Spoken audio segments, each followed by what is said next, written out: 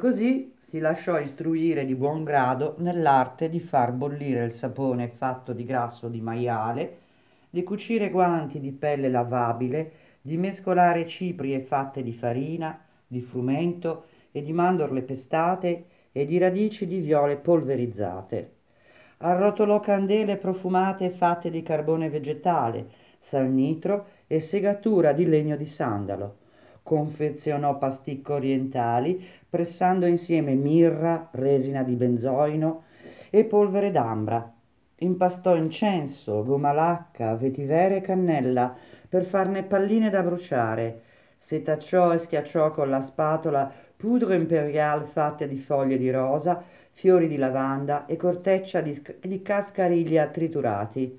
Mescolò belletti bianchi e azzurro vena e confezionò matite grasse rosso carminio per le labbra. Elaborò la più fine polvere per unghie e gessi dentari dal sapore di menta.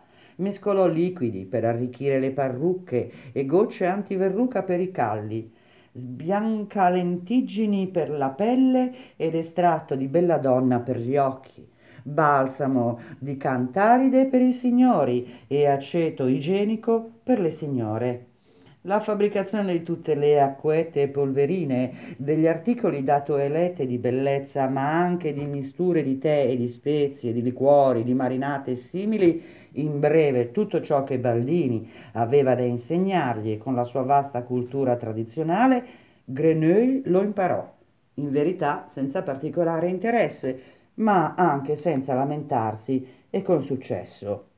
Dimostrò invece un particolare interesse quando Baldini lo istruì nella fabbricazione delle tinture, degli estratti e delle essenze non si staccava mai di schiacciare noccioli di mandorle amare nel torchio a vite, o di pestare semi di abelmosco, o di triturare con la mezzaluna grassi gnocchi d'ambra grigia, oppure di grattugiare radici di viole per poi macerare i frammenti in alcol della migliore qualità Imparò a conoscere l'uso dell'imbuto separatore con cui si scindeva l'olio puro delle bucce di limone pressato dal torbido liquido residuo.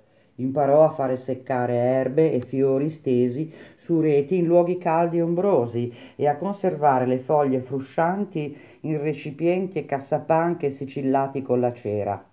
Imparò l'arte di depurare le pomate, di preparare gli infusi, filtrarli, concentrarli, chiarificarli e rettificarli. Certo, il laboratorio di Baldini non era adatto a produrre olli di fiori e di erbe in grande stile. Del resto a Parigi sarebbe stato quasi impossibile trovare le quantità necessarie di piante fresche. Tuttavia all'occasione, quando al mercato si potevano trovare a poco prezzo rosmarino fresco, salvia, menta o semi d'anice, oppure quando arrivava una partita più grossa di bulbi di iris o di radici di, viole- di valeriana, di cumino, di noce moscata o fiori di garofano secchi, la vena d'alchimista di Baldini si metteva a pulsare e lui tirava fuori il suo lambicco grande una tinozza di rame per distillare sulla quale era applicato un recipiente condensatore. Un cosiddetto alambicco a testa di moro, come annunciava con orgoglio Baldini, con cui già quarant'anni prima aveva distillato lavanda all'aperto sulle pendici meridionali della Liguria e sulle alture del Luberon. E mentre Grenouille sminuzzava il prodotto da distillare, Baldini, con fretta febbrile, dato che la rapida elaborazione era l'alfa e l'omega del mestiere, accendeva un focolare coperto, sul quale collocava un paiolo di rame riempito di una buona quantità d'acqua. Gettava lì dentro le parti vegetali, tappava sul manicotto il doppio imbuto a testa di moro e vi collegava due tubicini per l'acqua che affluiva e defluiva. Questa raffinata struttura per il raffreddamento dell'acqua, spiegava Baldini, l'aveva installata lui stesso soltanto in un secondo momento, perché ovviamente a suo tempo all'aperto avevano raffreddato l'acqua unicamente facendo vento, poi soffiava sul fuoco per ravvivarlo. A poco a poco il liquido nel paiolo cominciava a gorgogliare e dopo un po', prima pian piano a gocce, poi in rivoletti sottili, sottili come fili, il distillato scorreva dalla terza canna della testa di Moro in una bottiglia fiorentina che Baldini vi aveva messo sotto. Dapprima aveva un aspetto del tutto insignificante, come una zuppa acquosa e torbida, ma a poco a poco, soprattutto quando la bottiglia piena era stata spostata di fianco a riposare e sostituita da un'altra, la broda si scindeva in due liquidi diversi. Sotto restava l'acqua di fiori o di erbe, sopra galleggiava uno spesso strato d'olio. Facendo scolare con cautela attraverso il collo a beccuccio della bottiglia fiorentina l'acqua di fiori che ora aveva un aroma delicato, restava indietro l'olio puro, l'essenza, l'anima della pianta dal profumo intenso. Grenouille era affascinato da questo processo.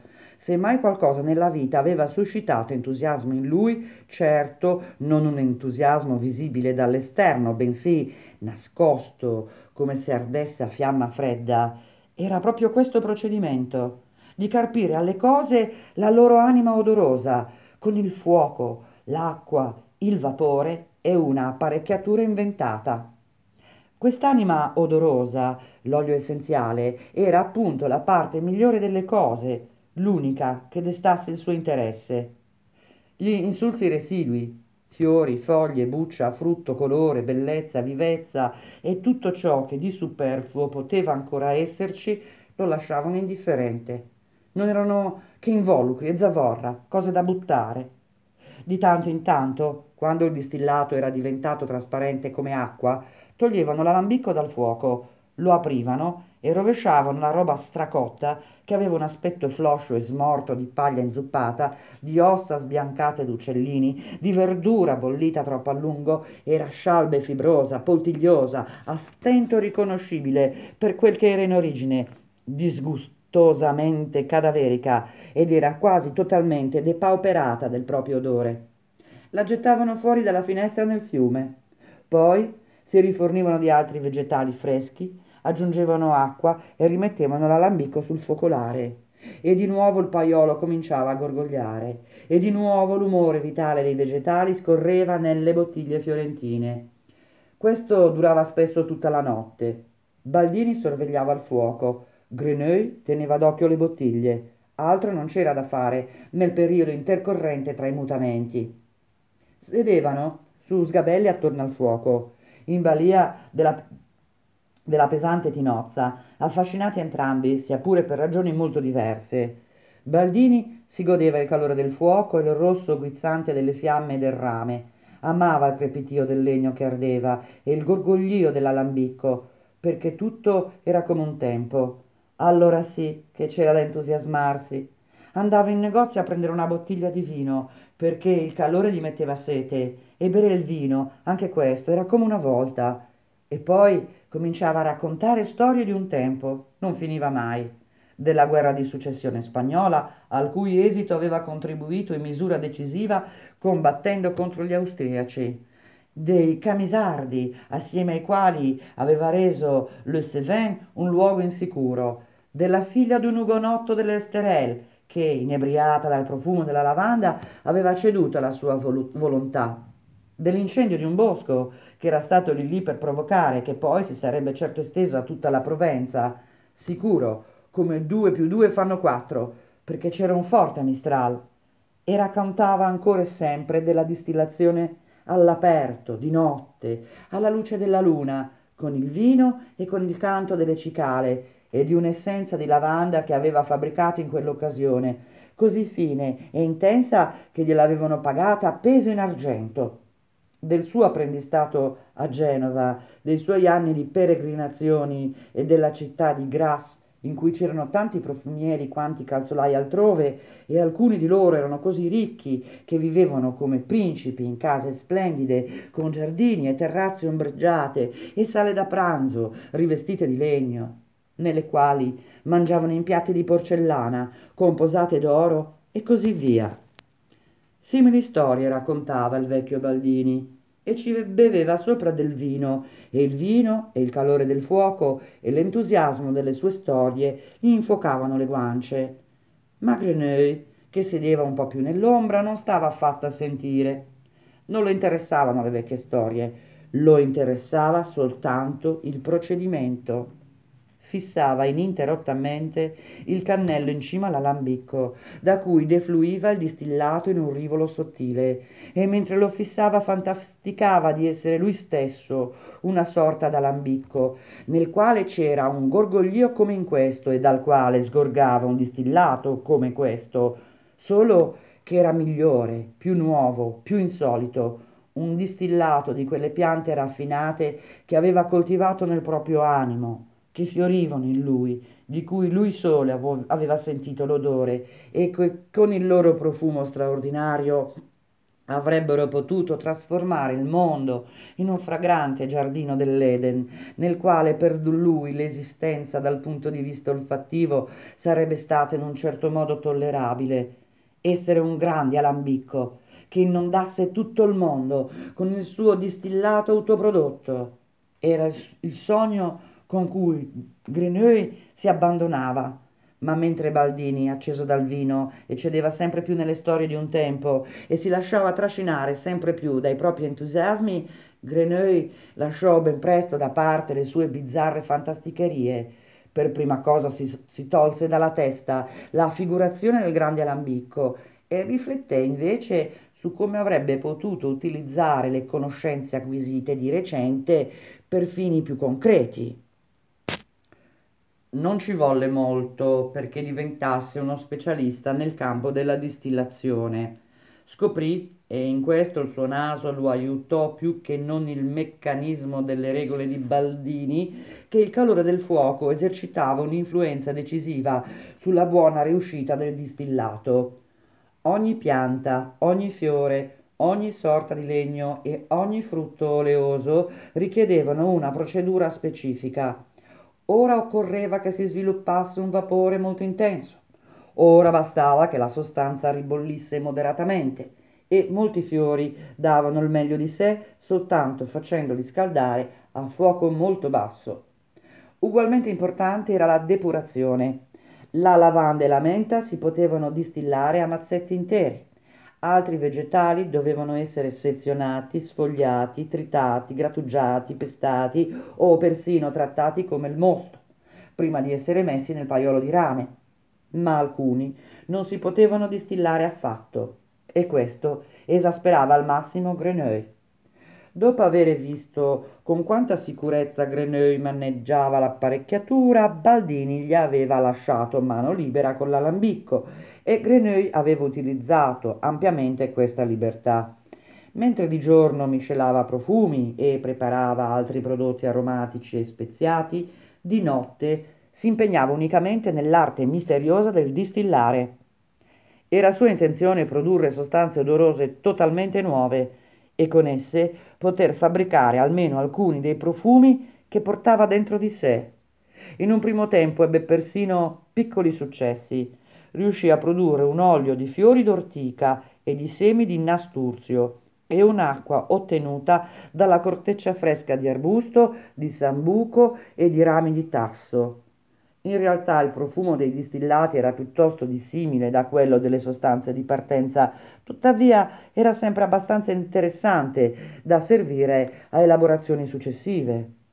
Però c'erano sostanze con le quali il procedimento falliva totalmente. Ad esempio, Grenouille cercò di distillare l'odore di vetro, l'odore fresco e argilloso del vetro liscio che le persone normali non percepivano affatto si, si procurò vetro da finestra e vetro da bottiglie e lo trattò in grossi pezzi, in schegge, in frammenti, sotto forma di polvere, senza il minimo risultato.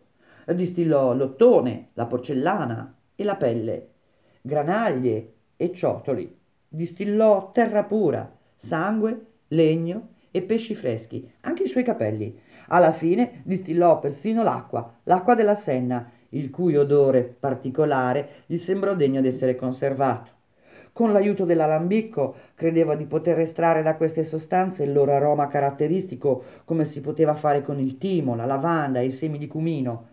Ma non sapeva che la distillazione non è altro che un processo di separazione delle sostanze miste nelle loro singole componenti volatili e meno volatili e che per la profumeria è utile solo in quanto l'olio essenziale volatile di certi vegetali può essere isolato dai loro residui privi di aroma o con poco aroma in sostanze nelle quali questo olio essenziale si perde, il processo di distillazione ovviamente non ha alcun senso. Per noi uomini d'oggi, esperti nel campo della fisica, tutto ciò è di una evidenza immediata, ma per Grenouille questo riconoscimento fu il risultato raggiunto con fatica di una lunga catena di tentativi deludenti. Per mesi e mesi Notte dopo notte era rimasto seduto accanto all'allambicco e aveva cercato in ogni modo possibile, tramite la distillazione, di produrre profumi radicalmente nuovi, profumi che in forma concreta non si erano ancora mai sentiti al mondo, e non ne aveva ricavato nulla, eccetto un paio di ridicoli oli vegetali. Dal pozzo profondo incommensurabilmente ricco della sua immaginazione non aveva estratto una sola goccia di essenza odorosa in concreto. Non era riuscita a realizzare neppure un atomo di tutto ciò che gli era alleggiato dinanzi in fatto di odori. Quando si convinse del suo fallimento, sospese le ricerche e si ammalò con pericolo della vita. Am- gli venne una febbre alta che nei primi giorni fu accompagnata da esudazioni e in seguito, quando i pori della pelle non bastarono più, produsse innumerevoli pustole. Il corpo di Grenouille era disseminato di queste vescichette rosse. Molte scoppiarono e riversarono il loro contenuto acquoso per poi riempirsi di nuovo. Altre si ingrandirono in veri e propri foruncoli rossi, si enfiarono ed esplosero come crateri e sputarono fuori pus denso e sangue frammisto a muco giallo. Dopo qualche tempo Grenouille aveva l'aspetto di un martire lapidato dall'interno, con centinaia di ferite purulente. A questo punto Baldini ovviamente si preoccupò. Per lui sarebbe stato molto spiacevole perdere il suo prezioso apprendista proprio in un momento in cui si accingeva a estendere i suoi affari oltre i confini della capitale anzi persino di tutto il paese. Infatti era sempre più frequente che non soltanto dalla provincia, ma anche dalle corti straniere arrivassero ordinazioni di quei profumi nuovi che facevano impazzire Parigi. E Baldini accarezzava l'idea di fondare una filiale in Faubourg Saint-Antoine per soddisfare questa domanda una vera e propria piccola manifattura, da dove i profumi più richiesti, miscelati en gros e confezionati en gros, in graziosi flaconcini, imballati da graziose giovanette, sarebbero stati spediti in Olanda, in Inghilterra e in Alemagna. Per un maestro residente a Parigi un'impresa di questo genere non era proprio legale, ma ultimamente Baldini disponeva di protezione in alto loco i suoi profumi raffinati gliene avevano procurate non soltanto presso l'intendente, ma anche presso importanti personalità, quali l'appaltatore del Dazio di Parigi e un membro del gabinetto reale delle finanze, nonché promotore di imprese economicamente fiorenti, quale era il signor Feudieu de Bru. Questi l'aveva fatto sperare persino nel privilegio del re, la cosa migliore che ci si potesse augurare sarebbe stato una specie di lascia passare per eludere qualsiasi ingerenza statale e corporativa, la fine di tutte le preoccupazioni professionali e una garanzia perenne di benessere sicuro e incontestato. E poi c'era anche un altro progetto che Baldini covava, una sorta di progetto preferenziale opposto a quello della manifattura in Faubourg Saint-Antoine che avrebbe prodotto, se non articoli di massa, cose che in molti potevano acquistare. Voleva creare profumi personali per un numero scelto di clienti d'alto, altissimo rango, o piuttosto voleva farli creare profumi che come vestiti tagliati su misura si adattassero a una persona sola, potessero essere usati soltanto da questa persona e portassero il suo illustre nome immaginava un parfum de la marquise de Cernay, un parfum de la maréchale de Villars, un parfum de duc d'Anguillon e così via. sognava un parfum de Madame la Marquise de Pompadour e perfino un parfum de Sa Majesté le Roi in un flaccone d'agata preziosamente smerigliato, incastonato in oro cesellato con il nome Giuseppe Baldini profumiere, nascosto, inciso sul lato interno del supporto. Il nome del re e il suo stesso nome uniti nel medesimo oggetto. Simili splendide fantasticherie era arrivato a immaginare Baldini. E ora Grenouille si era ammalato. Quando Grimal Dio l'abbia in gloria, aveva giurato che Grenouille non aveva mai niente, che sopportava tutto, che era refrattario persino alla peste nera. Di punto in bianco era mortalmente marato. E se fosse morto, orrore. Con lui sarebbero morti gli splendidi progetti della manifattura, delle graziose giovinette, del privilegio e del profumo del re. Quindi Baldini decise di non lasciar nulla di intentato per salvare la preziosa vita del suo apprendista. Predispose un trasferimento del tavolaccio del laboratorio in un letto pulito al piano superiore. Fece rivestire il letto di damasco, aiutò con le sue mani a portar sul malato per la scala stretta e ripida, sebbene provasse un indicibile disgusto per le pustole e i foruncoli purulenti. Ordinò alla moglie di far bollire brodo di pollo con vino. Mandò a chiamare il medico più rinomato del quartiere, un certo Procopio, che fu costretto a pagare in anticipo venti franchi, soltanto perché quello si prendesse il disturbo di venire. Il dottore venne, sollevò il lenzuolo con le dita affusolate diede un'occhiata al corpo di Grenouille che in verità sembrava come fracassato da mille pallottole e lasciò la stanza senza neppure aperto, aver aperto la borsa che il suo assistente gli portava sempre dietro. Il caso, cominciò a dire a Baldini, era chiarissimo. Si trattava di una varietà sifilitica di vaiolo nero mista a morbillo suppurativo in stadio ultimo. Quindi un trattamento non era più necessario, poiché non era più possibile eseguire un salazzo regolamentare su quel corpo in disfacimento, più simile a un cadavere che a un organismo vivente. E sebbene non si avvertisse ancora il puzzo pestilenziale tipico del decorso della malattia, il che certo stupiva e dal punto di vista strettamente scientifico rappresentava una piccola anomalia, non poteva sussistere il minimo dubbio sul decesso del paziente entro le successive 48 ore, quanto è vero che lui si chiamava dottor Procopio. Detto questo, si fece dare altri 20 franchi per avere concluso la visita e, fatta la prognosi, 5 franchi erano restituibili nel caso che gli avessero lasciato il cadavere con quella sintoma- sintomatologia tradizionale a scopi dimostrativi e si congedò. Baldini era fuori di sé. Si lamentava e urlava di disperazione, si mordeva le mani dalla rabbia per la propria sorte. Ancora una volta i progetti del suo grande, immenso successo erano distrutti poco prima di arrivare alla meta.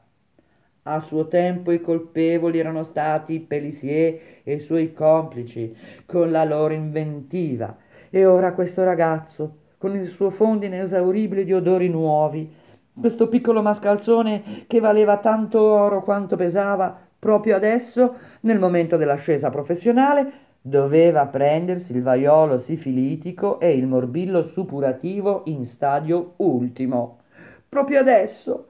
Perché non fra due anni? Perché non fra un anno? Fino allora avrebbe potuto sfruttarlo come una miniera d'argento, come un asino d'oro, ma no, moriva adesso. Sacramento di un dio, fra 48 ore.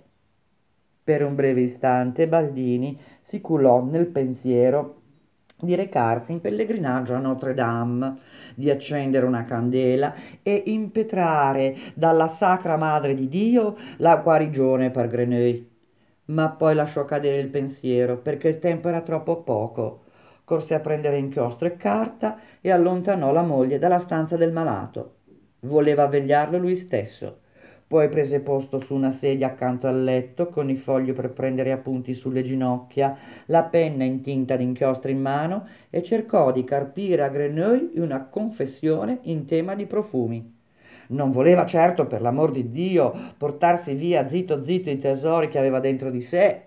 Piuttosto adesso, nelle due ultime ore, doveva lasciare un testamento a mani fidate affinché i posteri non fossero defraudati dei profumi migliori di tutti i tempi. Lui, Baldini, avrebbe conservato fedelmente questo testamento, questo canone formale dei profumi più sublimi mai sentiti al mondo e l'avrebbe fatto prosperare. Avrebbe annesso gloria immortale al nome di Grenouille, sì, avrebbe deposto, e qui lo giurò per tutti i santi, il migliore di questi profumi ai piedi del re in persona, in un flaccone d'agate incastonato in oro cesellato e con incisa la dedica de Jean-Baptiste Grenouille, profumiere in Parigi. Così disse, o meglio, così bisbigliò Baldini all'orecchio di Grenouille, scongiurando, supplicando, adulandolo senza tregua ma era tutto inutile. Di sé Grenouille non dava altro se non secrezione acquosa e pus sanguinolento. Giaceva muto nel dabasco e si liberava di questi umori disgustosi, ma non della più insignificante formula di un profumo. Baldini avrebbe voluto strozzarlo, colpirlo a morte, avrebbe voluto, avrebbe proprio avuto voglia di far uscire a forza di botte i preziosi segreti del corpo morente, se avesse avuto una speranza di successo e se la cosa non fosse stata in così lampante contraddizione con la sua concezione cristiana dell'amor prossimo. E così continuò a mormorare con voce flautata nei toni più dolci e ad accarezzare il malato e a tamponare con pezze umide per quanto gli costasse uno sforzo atroce quella fronte bagnata di sudore e quei vulcani in eruzione che erano le sue ferite e lo imboccò con cucchiaiate di vino per indurre la sua lingua a parlare tutta la notte. Invano. All'alba rinunciò. Si gettò esausto in una poltrona all'altro capo della stanza e si mise a fissare, neppure più furibondo, bensì ormai soltanto in preda a una quieta rassegnazione, il piccolo corpo morente di Grenouille, là sul letto, che non poteva né salvare né derubare, da cui non poteva ricavar più nulla per sé, era soltanto costretta ad assistere inattivo al suo sfacelo come un capitano assiste all'affondamento della nave che porta con sé nel fondo tutte le sue ricchezze.